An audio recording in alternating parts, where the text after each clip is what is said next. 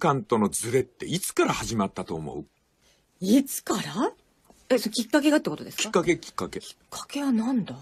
それ、どのぐらい前のことですか？それがね、あんまり前じゃないんですよ。は1995年。あ、あ、20年ぐらい前？はい。この辺りからね、ずれ始めるんです。1995年8月の15日、戦後50周年にあたり、政権担当、つまり、えー自民社会、ね、えー先駆けかな？三党合同内閣、村山首相、はい。この方が閣議決定の後戦後50年における談話を発表したんです。はい。日中間の歴史認識のズレは村山談話から始まったんです。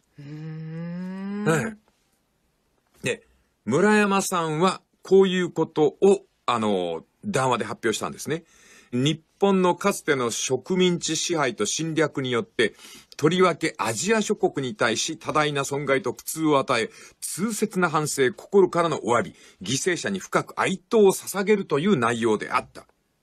で、村山さんはと言いますとですね、この方は陸軍で軍曹をやっておったんですな。はい。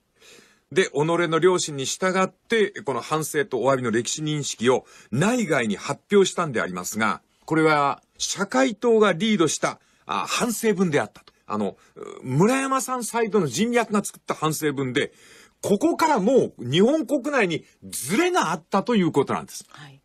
ちょっと硬い話ではありますが、ズレの話をしておりますんでね、愉快ではないかもしれませんが、現代史学ぶためには、心当たりどうしても歩かねばならないんでございますね。はいこの次まで出したのったのは、はい。あのー村山談話から始まったっていうう。ん。俺、俺聞いてて村山談話ってのは、やっぱりね、確かに、まあ、ご迷惑かけたんだから、とりあえず謝っとこうっていう。はい。と、謝った瞬間に急に向こうが、やっぱ悪いことしたんだみたいな。うん非を認めたな、みたいなそうそう、そういうこと。でですね、この、む、む村山さん結構ね、この談話発表するのでね、無理なさってるんですね。うんなんでかというとですね、この村山談話に賛成した国会議員、230名。はい。こんなのダメだよ、そんなのって反対したのが241名。だから、村山談話って発表した段階で、国会全体をまとめうる納得いく談話ではなかったんですよ。うん。で、この亀裂のまんま国会決議を通したために、かえって中間から謝り方が半端だっていう口実を与えてしまったんですよ。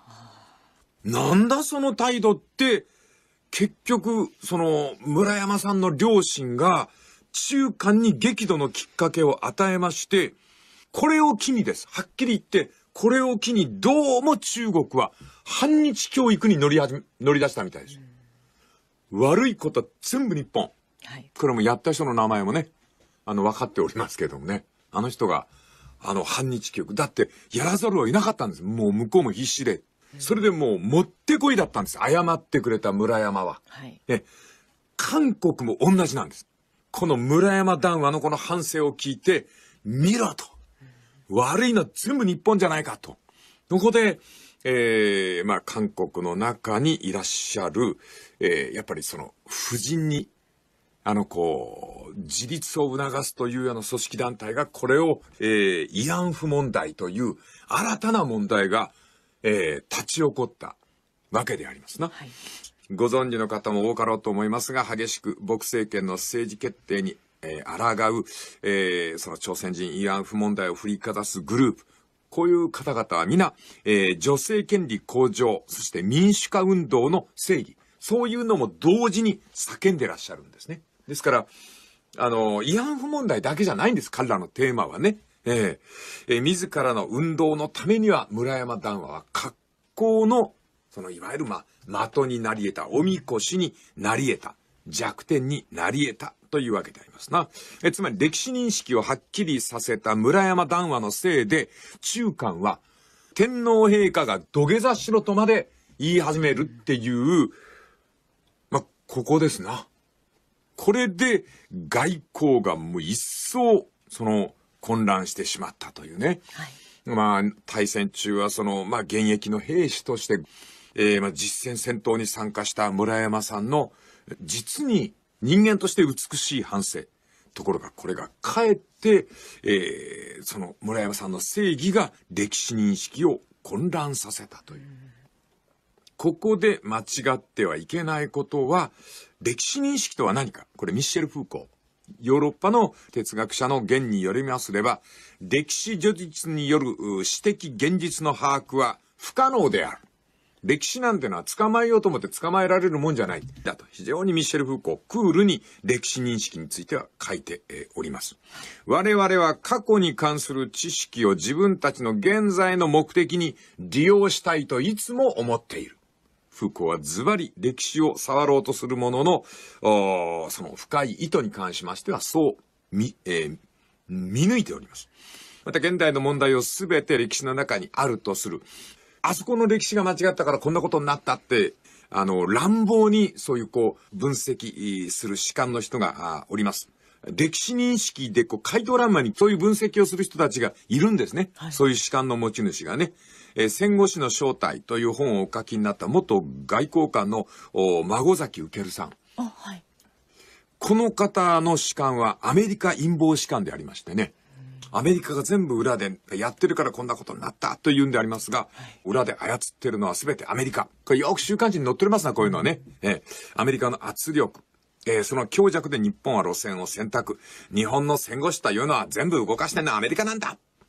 えー元外交官のおこの方は、この全くアメリカから自立していない日本。それが戦後の闇なのであるということで。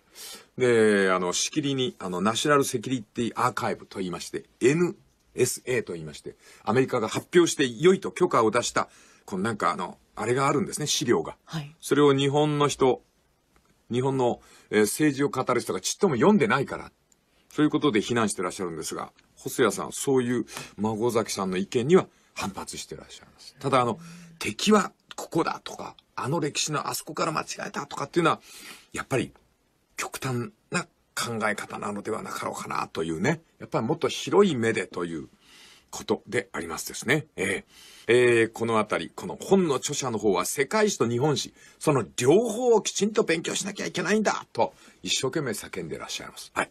さらに奥に参りましょう。日本の正義、なぜ通用しないか。この続きまた明日のことで細谷雄一さん、あーこれ新潮選手であります。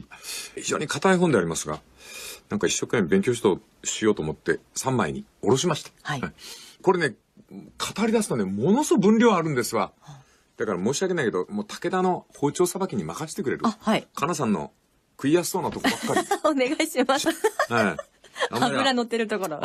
油乗ってるとこで、だけでな。はうんえー日本の正義はなぜ通用しないんだというその問題点を。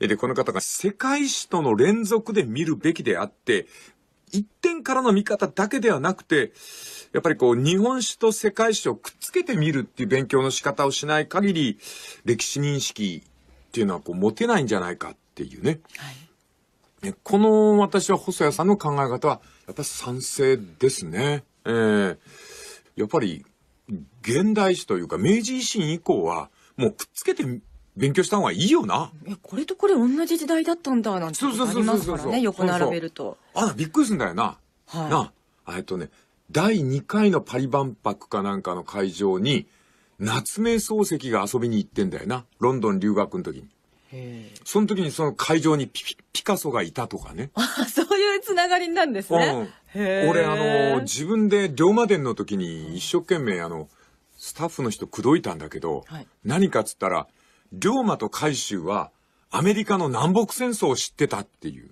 うん。なんか、お、横に、横並びで考えたことないと。あのペリーがやってきて何年後かにアメリカは南北にちぎれてはい国内戦争に入るのよ。はい。その南北戦争で余った武器が明治維新の時に龍馬が輸入して長州に渡した銃なのよ。だから風と共にで去りぬで、ええ。使われた銃が、はい高杉晋作が握った銃なのよ。そういうことになるんですね。そういうのすると俺もう胸がときめくぐらい嬉しくなっちゃうんだよね、俺。ななんか、そういう世界史と日本史っていうのを絶対横で見ないとダメなんじゃないかなっていう気が、あの、するんですね。で、はいそういう歴史の見方をする人がやっぱりいるんですね。例えば国家間の戦争のみを戦争と捉えるのではなくて、国内がこう分裂して戦う